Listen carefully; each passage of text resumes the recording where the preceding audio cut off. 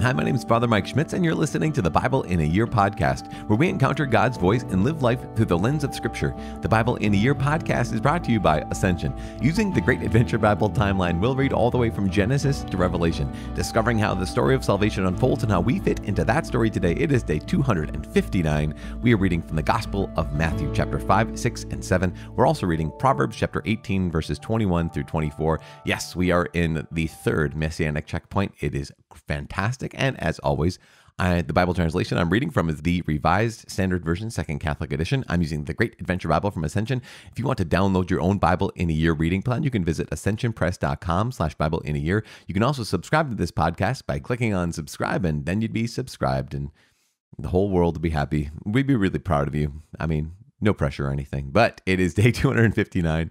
And if you are unsubscribed still, that's amazing. I mean, I don't know if I really even want you to, I don't even know if I want to encourage you to subscribe. If you've been hunting this down every single day and you're on day 259, there's some, that's, there's something impressive about that. So do it or don't do it. It's day 259. We're reading the Gospel of Matthew, chapter 5, 6, and 7, as well as Proverbs 18, 21 through 24.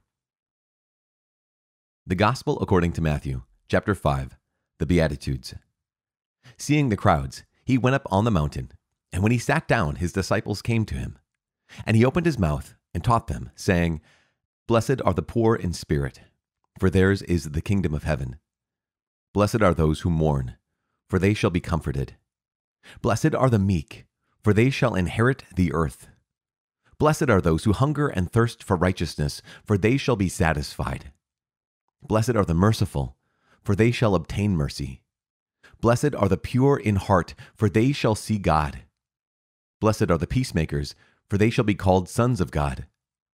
Blessed are those who are persecuted for righteousness' sake, for theirs is the kingdom of heaven. Blessed are you when men revile you and persecute you and utter all kinds of evil against you falsely on my account. Rejoice and be glad, for your reward is great in heaven. For so men persecuted the prophets who were before you. Salt and light. You are the salt of the earth. But if salt has lost its taste, how shall its saltiness be restored? It is no longer good for anything except to be thrown out and trodden under foot by men. You are the light of the world. A city set on a hill cannot be hidden. Nor do men light a lamp and put it under a bushel, but on a stand, and it gives light to all in the house. Let your light so shine before men that they may see your good works and give glory to your Father who is in heaven the fulfillment of the law and the prophets. Do not think that I have come to abolish the law and the prophets. I have come not to abolish them, but to fulfill them. For truly I say to you, till heaven and earth pass away, not an iota, not a dot will pass from the law until all is accomplished. Whoever then relaxes one of the least of these commandments and teaches men so, shall be called least in the kingdom of heaven. But he who does them and teaches them shall be called great in the kingdom of heaven. For I tell you, unless your righteousness exceeds that of the scribes and Pharisees, you will never enter the kingdom of heaven. Concerning anger, you have heard that it was said to the men of old, You shall not kill, and whoever kills shall be liable to judgment. But I say to you, that everyone who is angry with his brother shall be liable to judgment. Whoever insults his brother shall be liable to the council, and whoever says, You fool, shall be liable to the hell of fire. So, if you are offering your gift at the altar and then remember that your brother has something against you, leave your gift there before the altar and go. First be reconciled to your brother and then come and offer your gift. Make friends quickly with your accuser while you are going with him to court, lest your accuser hand you over to the judge and the judge to the guard, and you be put in prison. Truly, I say to you, you will never get out till you have paid the last penny. Concerning adultery, you have heard that it was said, You shall not commit adultery. But I say to you, that everyone who looks at a woman lustfully has already committed adultery with her in his heart. If your right eye causes you to sin, pluck it out and throw it away. It is better that you lose one of your members than that your whole body be thrown into hell. And if your right hand causes you to sin, cut it off and throw it away. It is better that you lose one of your members than that your whole body go into hell. Concerning divorce, it was also said, Whoever divorces his wife, let him give her a certificate of divorce. But I say to you, that everyone who divorces his wife except on the ground of unchastity makes her an adulteress, and whoever marries a divorced woman commits adultery.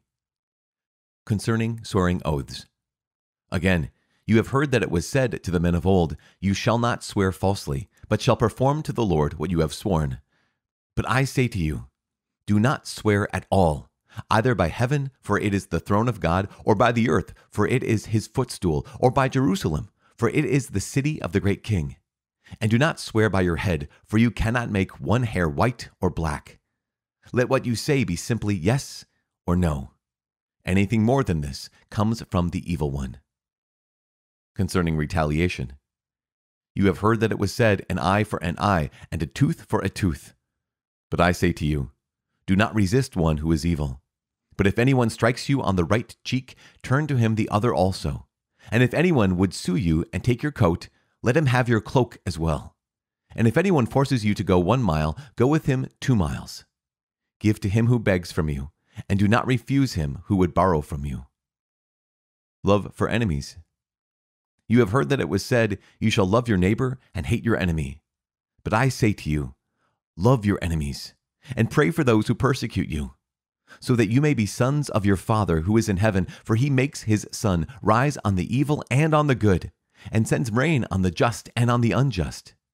For if you love those who love you, what reward have you? Do not even the tax collectors do the same? And if you salute only your brethren, what more are you doing than others? Do not even the Gentiles do the same? You, therefore, must be perfect, as your heavenly Father is perfect. Chapter 6 concerning almsgiving. Beware of practicing your piety before men in order to be seen by them, for then you will have no reward from your Father who is in heaven. Thus, when you give alms, sound no trumpet before you, as the hypocrites do in the synagogues and in the streets, that they may be praised by men. Truly, I say to you, they have their reward. But when you give alms, do not let your left hand know what your right hand is doing, so that your alms may be in secret, and your Father who sees in secret will reward you concerning prayer. And when you pray, you must not be like the hypocrites, for they love to stand and pray in the synagogues and at the street corners, that they may be seen by men. Truly, I say to you, they have their reward. But when you pray, go into your room and shut the door and pray to your Father who is in secret, and your Father who sees in secret will reward you. And in praying, do not heap up empty phrases as the Gentiles do, for they think that they will be heard for their many words. Do not be like them for your Father knows what you need before you ask Him. Pray then like this Our Father, who art in heaven, hallowed be thy name. Thy kingdom come, thy will be done, on earth as it is in heaven. Give us this day our daily bread, and forgive us our trespasses as we forgive those who trespass against us. And lead us not into temptation, but deliver us from evil. For if you forgive men their trespasses, your heavenly Father also will forgive you. But if you do not forgive men their trespasses, neither will your Father forgive your trespasses. Concerning fasting. And when you fast, do not look dismal like the hypocrites, for they disfigure their faces, that their fasting may be seen by men. Truly, I say to you, they have their reward. But when you fast, anoint your head and wash your face, that your fasting may not be seen by men, but by your Father who is in secret. And your Father who sees in secret will reward you. Concerning treasures. Do not lay up for yourselves treasures on earth where moth and rust consume, and where thieves break in and steal. But lay up for yourselves treasures in heaven, where neither moth nor rust consumes, and where thieves do not break in and steal. For where your treasure is, there will your heart be also. The sound eye. The eye is the lamp of the body, so if your eye is sound, your whole body will be full of light. But if your eye is not sound, your whole body will be full of darkness. If then the light in you is darkness, how great is the darkness! Serving two masters. No one can serve two masters, for either he will hate the one and love the other, or he will be devoted to the one and despise the other. You cannot serve God and mammon. Do not be anxious. Therefore, I tell you, do not be anxious about your life, what you shall eat or what you shall drink, nor about your body, what you shall put on. Is not life more than food, and the body more than clothing? Look at the birds of the air. They neither sow nor reap nor gather into barns, and yet your heavenly Father feeds them. Are you not of more value than they? And which of you, by being anxious, can add one cubit to his span of life? And why are you anxious about clothing? Consider the lilies of the field, how they grow. They neither toil nor spin. Yet I tell you, even Solomon in all his glory was not clothed like one of these. But if God so clothes the grass of the field, which today is alive and tomorrow is thrown into the oven, will he not much more clothe you, O you of little faith? Therefore, do not be anxious, saying, What shall we eat? Or what shall we drink? Or what shall we wear? For the Gentiles seek all these things, and your heavenly Father knows that you need them all. But seek first his kingdom and his righteousness, and all these things shall be yours as well. Therefore, do not be anxious about tomorrow, for tomorrow will be anxious for itself. Let the day's own trouble be sufficient for the day. Chapter 7 Judging Others. Judge not, that you may not be judged. For with the judgment you pronounce, you will be judged, and the measure you give will be the measure you get. Why do you see the speck that is in your brother's eye, but do not notice the log that is in your own eye? Or how could you say to your brother, Let me take the speck out of your eye, when there is the log in your own eye? You hypocrite! First, take the log out of your own eye, and then you will see clearly to take the speck out of your brother's eye. Profaning the holy. Do not give dogs what is holy, and do not throw your pearls before swine, lest they trample them under foot and turn to attack you. Ask, seek, knock. Ask, and it will be given you. Seek, and you will find. Knock, and it will be opened to you. For everyone who asks receives, and he who seeks finds, and to him who knocks it will be opened. Or what man of you, if his son asks him for bread, will give him a stone, or if he asks for a fish, will give him a serpent? If you then, who are evil, know how to give good gifts to your children, how much more will your Father who is in heaven give good gifts to those who ask him? So whatever you wish that men would do to you, do so to them. For this is the law and the prophets. The narrow gate. Enter by the narrow gate. For the gate is wide, and the way is easy that leads to destruction, and those who enter by it are many. For the gate is narrow, and the way is hard that leads to life, and those who find it are few. False prophets. Beware of false prophets who come to you in sheep's clothing, but inwardly are ravenous wolves. You will know them by their fruits. Are grapes gathered from thorns, or figs from thistles? So every sound tree bears good fruit, but the bad tree bears evil fruit. A sound tree cannot bear evil fruit, nor can a bad tree bear good fruit. Every tree that does not bear good fruit is cut down and thrown into the fire. Thus, you will know them by their fruits. Concerning self deception.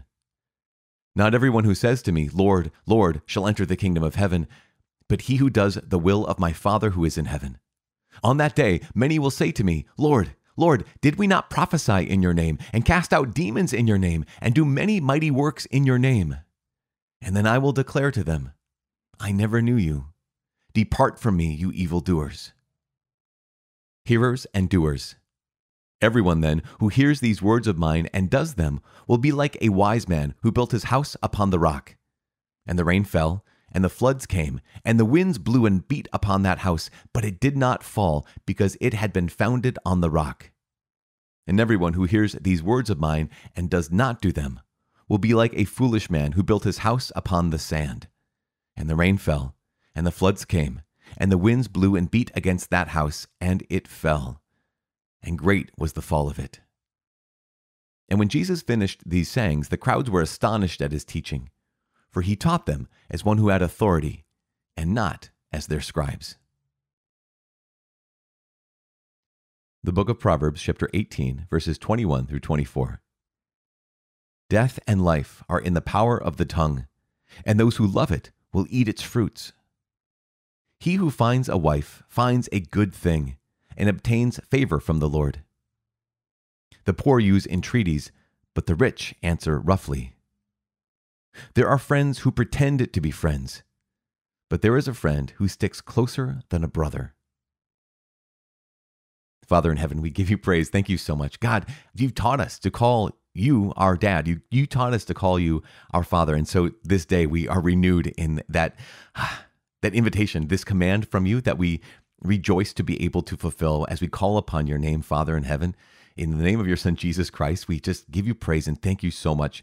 Thank you for the Gospel of Matthew. Thank you for Matthew himself. That is just ah, remarkable that we get to hear his words or your words really through his his his pen and in this moment right now traveling to us over the space of 2000 years but given to us by the power of the Holy Spirit working through the church and bringing us to this moment. So we thank you, God, for all those people who have ever handed down the Bible, who have ever translated the Bible, or have ever transcribed the Bible, or ever recorded the Bible. Any of those people who have ever helped us get to this point where right now your word and our lives are able to intersect. Lord God, help us to allow your word to transform our lives. And we make this prayer in the name of Jesus Christ, our Lord. Amen. In the name of the Father and the Son and the Holy Spirit. Amen. Um, Proverbs, we got to do it because it's great. Proverbs chapter 18, verse 24. There are friends who pretend to be friends, but there is a friend who sticks closer than the brother. Um, what a gift. Um, it's true every one of us. I, I, don't know when how old you were the first time you recognized the the fact that there can be people who are friends uh, for a for a season. There can be people who are friends for a time. There can be people who are friends who are only fair weather friends. Uh, and the moment trouble comes, they're they're on their way out the door. Or the moment they just get tired of us, they're on their way out the door. Uh, well, however old you were when you discovered that, it's one of those lessons that is I think it's almost invaluable for us to have learned. Um, because imagine going through life just thinking that not knowing that. I mean, it's a painful lesson to learn, obviously. But at the same time, we flip it around and we realize what an incredible gift it is when you do find that friend because you realize that a faithful friend is a sturdy shelter, like Proverbs tells us, and also comes along very infrequently. A true friend comes along so infrequently that when you find one, the only response is awe. The only response is, is thanksgiving. The only response is just, gosh, Lord, praise you and thank you so much for that gift. So, speaking of gifts, here is Matthew chapter 5, 6, and 7. It's affectionately known as the Sermon on the Mount, and even unaffectionately known as the Sermon on the Mount. It's just known as the Sermon on the Mount. And it's just, it's incredible. Starts with the Beatitudes. And here is Jesus, who, okay, so the image is Jesus goes up the mountain and he gives a new law, essentially, the fulfillment of the law. And that's important for us to note for a couple of reasons. One is what happened in the Old Testament. Well, you know this already. Moses went up the mountain and came down with the law, right? He came down with the commandments of God. So here is Jesus as the new Moses who's going to give not only a new law, he's also going to bring people to a new Exodus, which is incredible, a new place of freedom. And so don't miss that piece where Jesus goes up the mountain.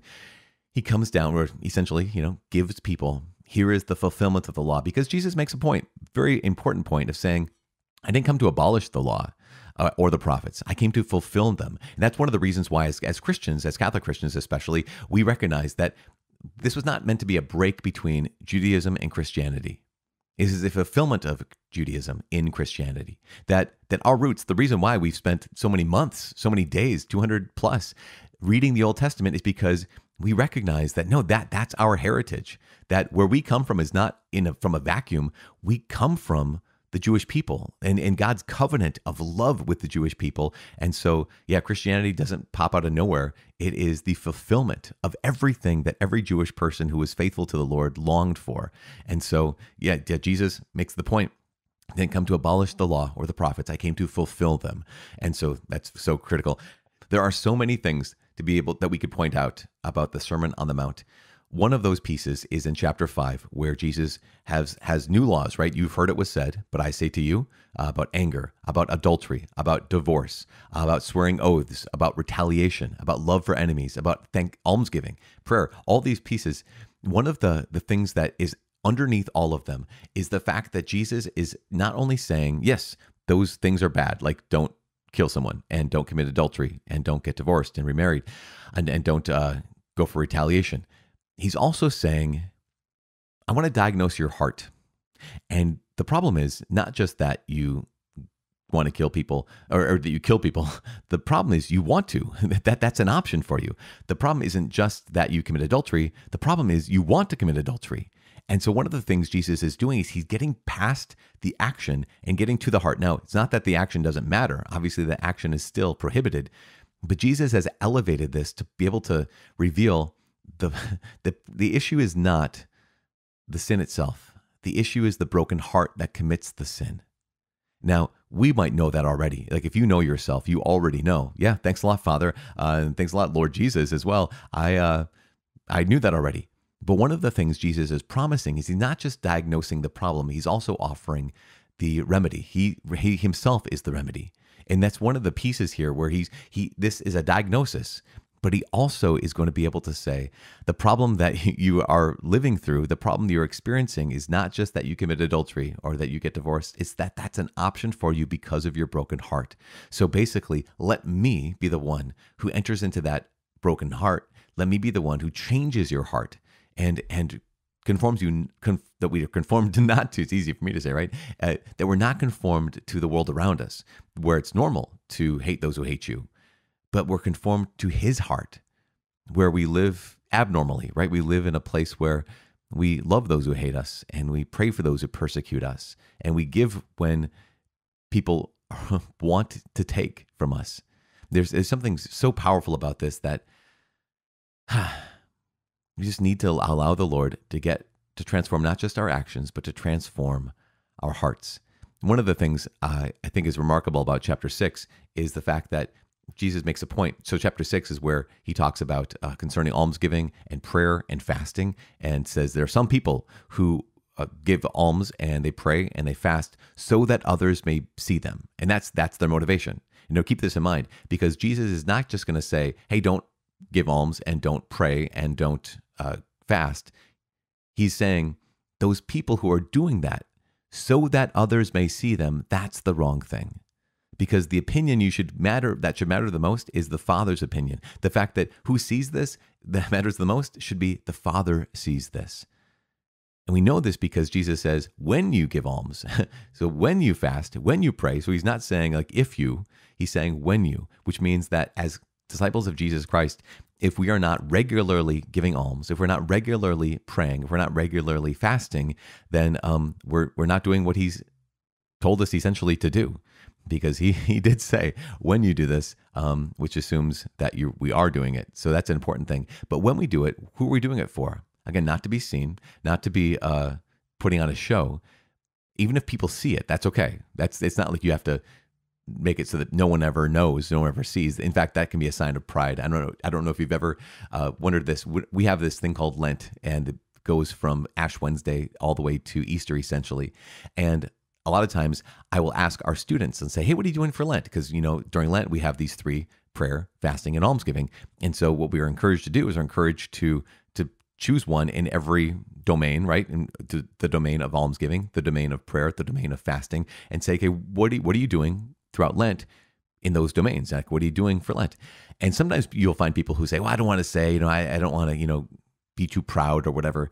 And I, I my my thought I always come back to two things. One is, well, you know, you're not doing it for other people.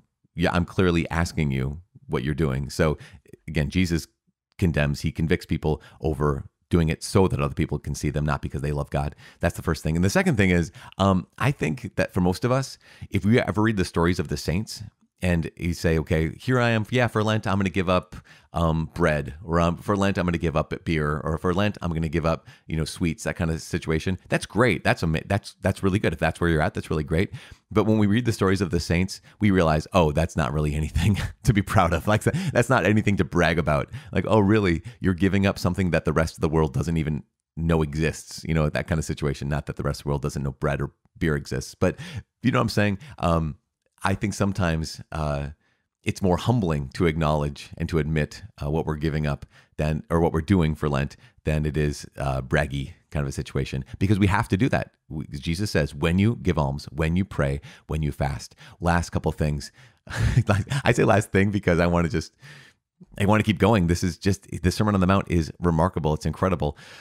but let's let's highlight this: the fact that Jesus is reminding us not only go past the surface, get to the heart of things, he's also reminding, remember who you're talking to when you're praying. Remember that he's your father. So you know, it says, when you pray, don't babble like the pagans or like the Gentiles who think that because of the many words they'll be heard. The reason why they thought they would be heard is because if they say the right incantation, you can get the attention of the god or goddess. But Jesus says, but you have a dad you have a dad in heaven. And what happens is if you just call upon his name, you realize that he's already attentive to you. If you if you call upon his name, you realize he's already looking at you. If you call upon his name, you don't have to fight for his attention. You already have his attention. In fact, one of the things that Jesus reveals is that the Father is fighting, constantly fighting for our attention. And so when we give it to him in prayer, it just it's an act of love. We just have to turn to our Father and say, Abba, Dad. That was just so incredible. Lastly, Jesus says, Not everyone who says to me, Lord, Lord, shall enter the kingdom of heaven, but only the one who does the will of my Father in heaven. Um, even those who say, We prophesied in your name, cast out demons in your name, we did many mighty works in your name. And he says, Depart from me. Why? Because you might have done some incredible things, but did you do my Father's will? This is the secret to holiness. Like if it all if it comes down to anything, the secret of holiness is doing what the Father has asked. So I, if I'm doing my own will all the time, then Jesus essentially could say to me, I don't even know who you are because you don't even know who I am because you don't do my will. But if we were just to say, okay, God, as my weak heart, and my broken heart, in my weak self, with your grace, I strive to simply do the Father's will at all times, that's what holiness is. And that's what it is to know Jesus, and that's what it is to be known by Jesus. Not simply to say, Lord, Lord, but to do the will of my Heavenly Father. It's one of the reasons why we recognize that um, we have to have faith that's working. Our formula for this is faith working itself out in love. Faith has to be put into action, or it is worthless. And so today, this day, just to say, okay, Father, how can I live in your will? Father, today, how can I do your will? Because I want to know you and know your will, and I want you to know me and know my heart. Gosh, you guys, I'm praying for you. Please pray for me. This is what a, what a gift that we get to walk through Matthew together. Um, hmm, my name is Father Mike. I cannot wait to see you tomorrow. God bless.